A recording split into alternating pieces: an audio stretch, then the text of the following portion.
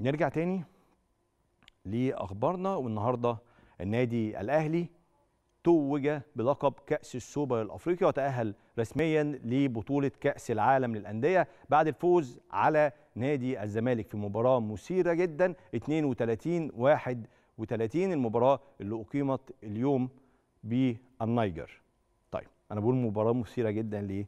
عشان المباراة على مستوى النتيجة والمتابعة للنتيجة كانت نقطة بنقطة. والزمالك يمكن كان متقدم تقريبا معظم فترات المباراة وقدر النادي الأهلي في الدقائق الأخيرة إنه يحسم المباراة لصالحه. بس المباراة ما اتذاعتش ما اتذاعتش في أي مكان. خالص خالص. تقعد تسأل بقى نفسك 2022 مباراة مهمة جدا زي دي ما بتتذاعش ليه؟ طيب اللي خد قرار أصلا إن المباراة ما تتذاعش أو إن المباراة تبقى في مكان غير مهيأ لإذاعة المباراة أو ما عندوش الإمكانيات. طبعا كل دولة أفريقية محترمة كل دولة ولها إمكانياتها بس هي مباراة كبيرة ومباراة مهمة فكان لازم تتذاع كان لازم نشوفها. إحنا عمالين نتابع مصر كلها تابعت المباراة بإيد مراسل في في في النيجر كلنا كلنا ما نعرفش أي حاجة عن المباراة ما نعرفش إيه اللي حصل ما نعرفش أحداثها ما نعرفش أي حاجة بنشوف بس النتيجة ال score. حاجة غريبة جدا بصراحة. كلنا النهارده كنا قاعدين متضايقين كلنا متضايقين إحنا مش عارفين نشوف المباراة. مباراة مهمة جدا يعني. مباراة مؤهلة لكأس العالم للأندية. مباراة ديربي بين الأهلي والزمالك. كل حاجة يعني كل حاجة. بس واضح من النتيجة واضح من أحداث المباراة ك... ك score كان بيتغير كل شوية إنها كانت مباراة مثيرة جدا. الزمالك كان في فترة من الفترات تقدم بفارق ثلاث أهداف الأهلي قدر يتعادل وقدر يكسب في آخر وقت المباراة بهدف. الأهلي يلعب كأس العالم للأندية لكرة اليد في الرياض. حاجة مهمة دي البطولة الثانية السوبر الافريقي اللي يفوز بيها النادي الأهلي. النهارده كمان بالنسبة للنادي الأهلي في كرة السلة. خسر أمام فريق الاتحاد السكندري ولكن في كرة السلة بنتيجة 86 77 في أولى مباريات نهائي دوري سوبر كرة السلة اللي أقيمت على صاله الدكتور حسن مصطفى بمدينه 6 أكتوبر. النادي آه أنتوا عارفين best of five خمس مباريات بين الأهلي والاتحاد. اللي هيكسب ثلاثة اللي هيكسب ثلاث مباريات هو اللي هيفوز بالبطولة.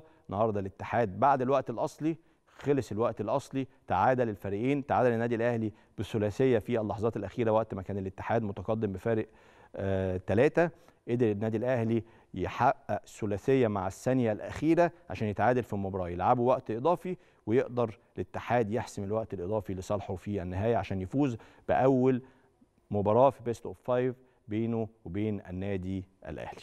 مواجهات كبيرة جدا ومواجهات رائعة جدا في الالعاب اللي بعيدة عن كرة القدم الحلو الممتع إنك تلاقي الناس كده على ال social media والناس في الشوارع والكافيهات والقهاوي بقوا يشغلوا مباريات كرة السلة بقوا يشغلوا مباريات كرة اليد.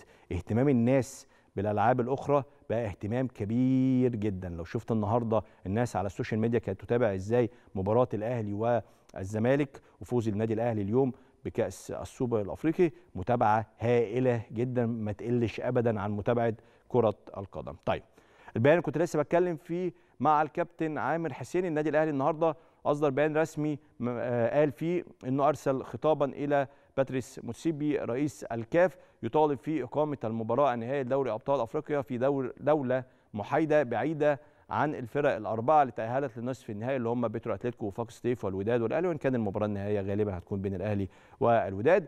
قال إن الكل كان ينتظر الاعلان عن ملعب النهائي في وقت مبكر قبل وضوح الرؤية وتقليص عدد الفرق المنافسة إلى أربعة فقط وأكد الأهلي أنه طالب بالعداله الكاملة وتحقيق مبدأ تكافؤ الفرص وإقامة المباراة النهائية في ملعب محايد وإنه لن يكون من العدل منح طرف أفضلية بإقامة النهائي في بلده وسط جمهوره على حسب أو على حساب الطرف الآخر خاصة أن هذا يتنافى مع قواعد اللعب النظيف. طيب الحكاية إيه؟ زي ما قلت لحضراتكم امبارح لو الاتحاد الأفريقي قبل بداية البطولة قال والله يا جماعة نهائي دوري أبطال أفريقيا ده هيقام في المغرب وصل بطل من المغرب ما وصلش بطل من المغرب خلاص النهائي في المغرب. زي نهائي دوري أبطال أوروبا كده. من قبل ما البطولة تبدأ النهائي فين يا جماعة نهائي دوري أبطال أوروبا في باريس. وصل بقى باريس سان جيرمان لل final. أهلا وسهلا يبقى حظه حلو هيلعب على ملعبه. ما وصلش باريس سان جيرمان لل final يبقى خلاص. كده كده المباراة هتقام في باريس. لكن أنت دلوقتي ما أعلنتش. ودلوقتي اتعرف إن الأهلي والوداد هيوصلوا ال final. فمش من المنطقي ومن الطبيعي إن المباراة تقام في المغرب. ما ينفعش ولا في مصر بالمناسبة عشان نبقى عادلين يعني. ولا طرف ولا الأهلي ولا الوداد عفوا ولا آه ولا الوداد. لا الأهلي يلعب في مصر ولا الوداد يلعب في المغرب.